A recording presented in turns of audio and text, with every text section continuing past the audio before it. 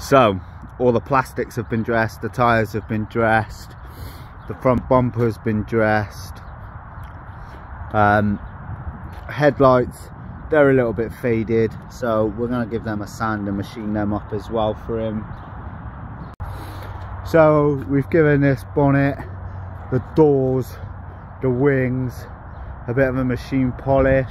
So with that we used uh, the Rupes yellow fine cut pad along with a medium cut compound and then we finish down with a finishing polish.